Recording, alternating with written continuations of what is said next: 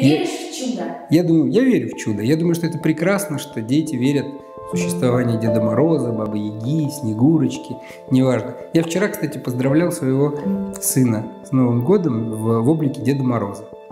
И когда я ехал поздравлять, э, я очень переживал, что вдруг он меня узнает и как-то это получится нелепо, скажет, о, папа, ты чё, раздевайся, зачем? Но меня загримировали, повесили бороду, одели одежду, и сын меня не узнал. Я когда вышел, я расстроился. Ты что хочешь, Руслан? Руслан!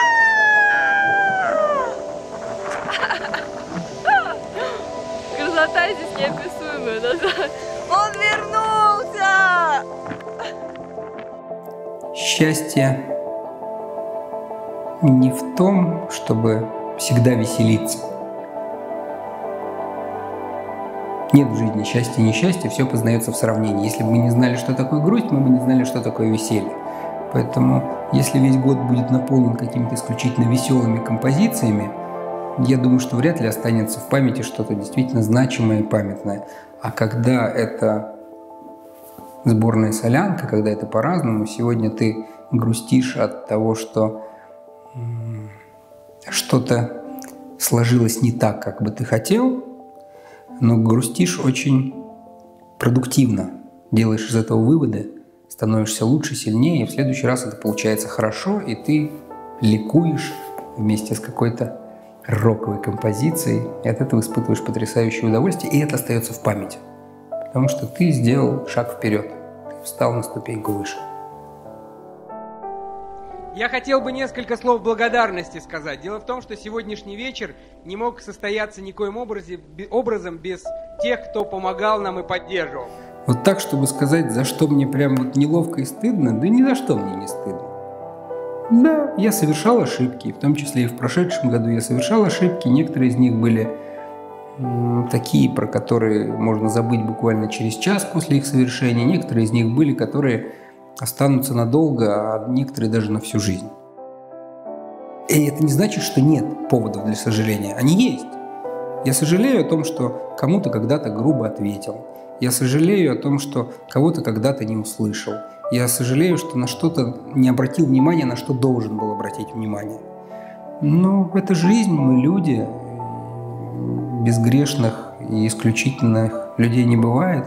Мы все совершаем ошибки – и здесь важнее не сожаление об этих ошибках, мне кажется, а правильные выводы.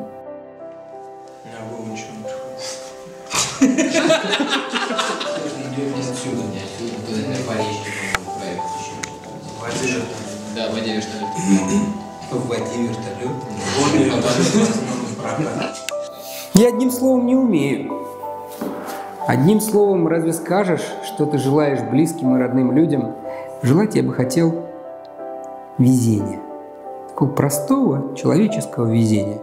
Потому что при прочих равных условиях а, успешный успех от того или другого дела зависит от вот, вот этого самого везения. Повезло или не повезло. То есть от человека это не зависит? А Я сказал, что при прочих равных условиях, конечно же, зависит от человека. Безусловно.